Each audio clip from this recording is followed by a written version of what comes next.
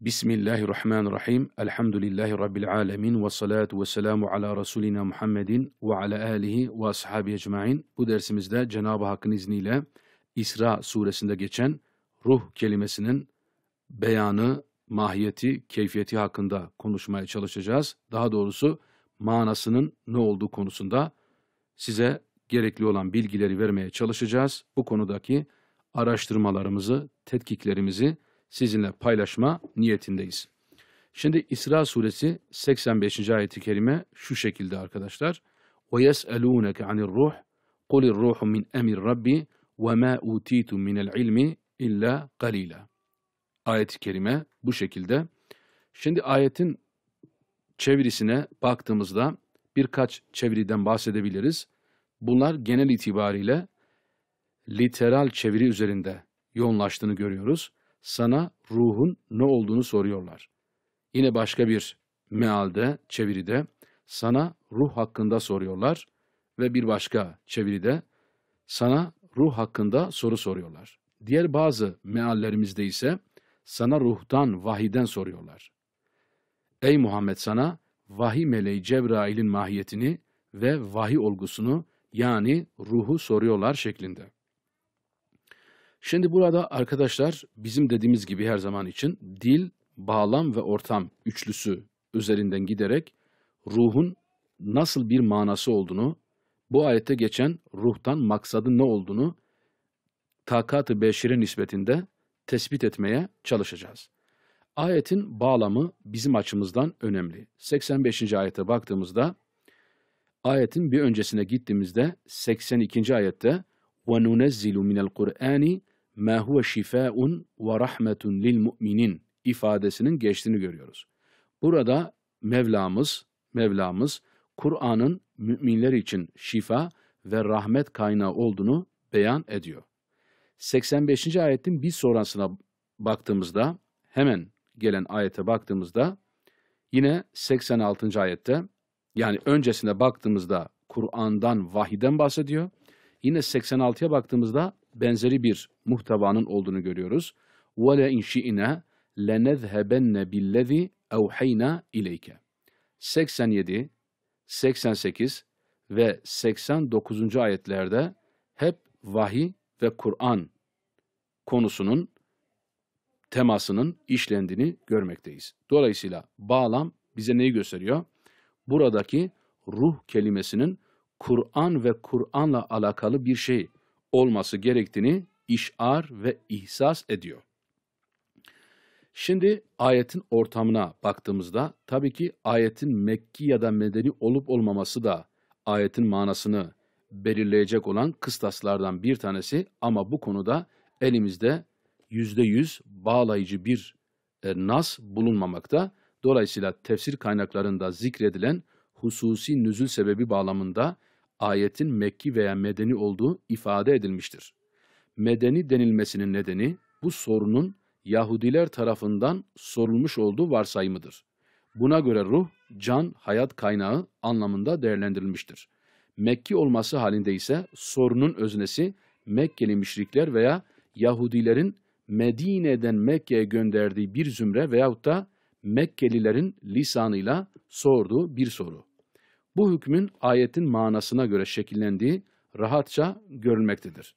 Nitekim İsra suresinin Mekki olduğu aşikardır. Bazı ayetlerin bundan istisna edilmesi bu ayetlerin manasıyla alakalı arka planın etkili ve belirleyici olduğu göze çarpmakta. Şimdi burada asıl sorulardan bir tanesi şu. وَيَسْأَلُونَكَ ifadesinin öznesi, faili kim veya kimler? Şimdi burada arkadaşlar elimizde bir takım rivayetler var. Mesela bunlardan bir tanesi Abdullah bin Mesud radıyallahu anh'tan bize ulaşmış. Kendisinin beyanına göre bu soru nerede sorulmuş? Medine'de sorulmuş. Ama tabii ki bu soru sorulurken ruh kelimesinin ne olduğu çok aşikar değil. Yani sadece ruhu sormuşlar. Burada bizim bildiğimiz anlamda hayat kaynağı olan ruh mu can manasına gelen ruh mu yoksa vahiy mi, melek mi, Cebrail mi orası belirsiz. Şimdi Abdullah bin Abbas'tan gelen rivayet şu şekilde Kureyş Yahudilere bize bir şey verin de şu adama soralım dediler. Yahudiler ona ruhu sorun dediler. Ardından gelip Resul-i Ekrem aleyhissalatü vesselama ruhu sordular. Bunun üzerine Allah Teala bu ayeti kerimeyi indirdi. Bu da sahih rivayetlerden bir tanesi. Şimdi yine Abdullah bin Abbas'tan gelen farklı rivayetler söz konusu. İkrime, İkrime, Ata bin Yesar, Katade, Abdullah bin Abdullah bin Ümmül Hakem Es-Sakafi gibi birçok raviden farklı rivayetler bize ulaşmış durumda. Dolayısıyla bütün bu rivayetleri derlediğimizde, bir araya getirdiğimizde, tefsir kaynaklarını incelediğimizde karşımızda iki temel mananın ortaya çıktığını görüyoruz. Bunlardan bir tanesi bunun melek olması, Cebrail, vahiy, Kur'an olması. Dolayısıyla ve yeselûneke anir ruhi ifadesinden maksadın Cebrail ya da melek ya da Kur'an vahiy olduğu sonucuna ulaşılmış. Diğer bir görüş ise ki bazı müfessirler de bu görüşü tercih etmişlerdir. Mesela yanlış hatırlamıyorsam Zemahşeri bu görüşü tercih ediyor. Ona göre ise burada ruh kelimesinden maksat nedir? Can, hayat kaynağı anlamına gelen ruhtur. Şimdi Abdurrazak'ın e, bize aktarmış olduğu rivayetlere baktığımızda Hasan-ı Basri'den, İbni Abbas'tan gelen görüşler bunun Cebrail olduğu yönünde. Yine melek olduğu yönünde. Taber'in de bu görüşe meylettiğini söyleyebiliriz. Kirmani, İbni Kuteybe'nin de bu görüşü benimsediğini söyleyebiliriz. Tabi bu ulamalar yani bu alimlerimiz, müfessirlerimiz diğer görüşlere de yer vermişler. Az önce zikrettiğimiz görüşe de yer vermişler. Dolayısıyla burada aslında eğer bir tercih yapacaksak acaba hangi tercih daha fazla ön plana çıkıyor? Biz biraz da bu işin peşindeyiz. Yani tercih yapma e, hakkımızı kullanmaya çalışacağız.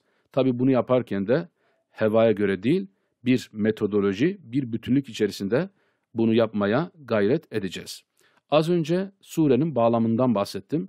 Surenin bağlamı yani bir öncesi ve sonrası, siyak ve sibakı açık bir surette bu bilginin Kur'an'la alakalı bir tema, bir motif olduğunu bize göstermekte. Yani bu konuda herhangi bir tartışma olması mümkün değil. Zaten ayetin birkaç ayet öncesi Kur'an'dan bahsediyor. Hemen sonrası Kur'an ve bu şekilde devam ediyor. Dolayısıyla bu ayetler bağlamında ve ortasında hayat kaynağı veyahut da can manasına gelen ruhun nasıl bir yeri vardır? İşte bunu da ayrıca düşünmek ve tefekkür etmek gerekiyor. Peki Kur'an'ın bütünlüğünü esas kabul ettiğimizde yani burada dil unsurunu devreye soktuğumuzda karşımıza nasıl bir manzara çıkıyor? İsra suresi kronolojik olarak yani İbni Abbas'tan gelen rivayeti esas kabul ettiğimizde burada İsra suresinin nüzul sıralaması 50. Ama bir öncesi yani birkaç e, sure öncesi Eş-Şuara suresi geçiyor. Ve innehu letenzilu rabbil alemin nezele bihi ruhul emin. Burada açıkça ruhu eminin Cebrail olduğu zaten kendiliğinden anlaşılıyor. Dolayısıyla burada Mekkeli müşriklerin veyahut da Mekkeli müşriklerin Yahudiler kanalıyla ruhu, ruhun mahiyetini, vahiy, vahyin menşeini sormuş olma ihtimalleri yüksek. Ve burada şu da olabilir. Yani bu ayeti kerime zaten daha öncesinde Mekke'de inmiş olabilir. Resul-i Ekrem aleyhissalatü vesselam Medine gittiğinde aynı soruya aynı soruyu kendisine arz ettiği de düşünülebilir. Yani aynı soruyu e, e, Yahudiler tarafından, Yahudiler tarafından aynı sorunun kendisine yöneltilmiş olma ihtimali de yüksektir. Zaten bu minvalde yorum yapan alimlerimiz de mevcut arkadaşlar. Dolayısıyla her halükarda burada ruh dediğimizde temelde Cebrail, vahiy, Kur'an ve melek gibi temaların daha fazla ön plana çıktığını görmekteyiz. Şimdi Şura suresine baktığımızda Şura suresi bu anlamda gerçekten önemli çünkü Şura suresi açıkça bize şunu söylüyor. وَكَذَٰلِكَ اَوْحَيْنَا اِلَيْكَ ruhen min emrina ifadesi geçiyor. Az önceki yes'elûneke anir ruhi ifadesi vardı hatırlarsanız. Ayet-i kerime bize şunu söylemişti. Kulir ruhu min emri rabbi. Bakınız kulir ruhu min emri Rabbi burada ise ruhen min emrina ifadesi geçiyor.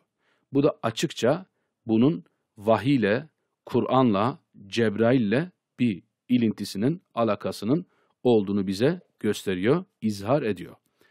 Nahl suresine baktığımız zaman yunezzilül melaike bir ruhi min emri ifadesi de bize açıkça ruhun mahiyeti hakkında bilgi veriyor. Dolayısıyla burada geçen ruhtan maksadın Cebrail, vahiy, Kur'an dışında başka bir şey olma ihtimali söz konusu değil. Böyle olunca da arkadaşlar eğer burada bir tercih yapılacaksa racih görüşün Cebrail olması yönünde, racih görüşün vahiy, Kur'an'la alakalı bir tema olması yönünde. En azından racih görüşün bu şekilde tespit edilmesinin mümkün olduğunu söyleyebiliriz.